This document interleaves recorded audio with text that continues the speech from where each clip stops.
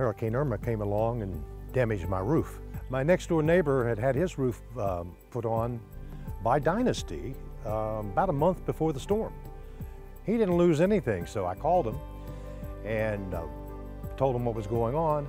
The next day, representative of the company was here. Within two hours, I had an estimate. They put the new roof on.